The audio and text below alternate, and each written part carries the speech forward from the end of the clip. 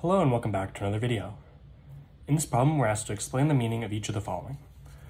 So we have the limit as x approaches negative 3 of f of x is equal to infinity, and the limit as x approaches 4 from the right of f of x is equal to negative infinity. So what these limits mean is that as x approaches a value,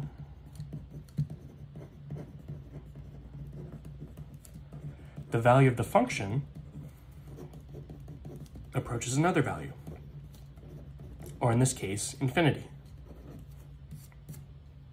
or negative infinity. And what does it mean to approach a value?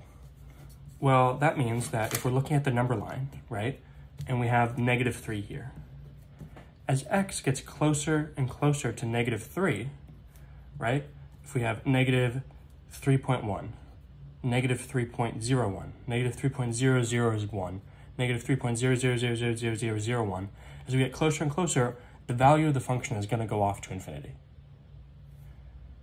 Slightly difference here in b, we have the limit as x approaches 4 from the right. That means if we have 4 over here, as the value of x approaches 4 from the positive direction, the value of the function is going to go off to negative infinity, right? So if we look at 4.1, 4.01, 4.001, right? These numbers are to get really, really crazy big, and they're going to go off to infinity if you keep going closer and closer to 4. It doesn't say anything about what happens if you come from this direction. So an example of what these would look like to help the demonstration is that if this is one function f of x, at negative 3, the value of the function goes off to infinity from both sides. So we're coming at it from both sides, they're both going off to infinity.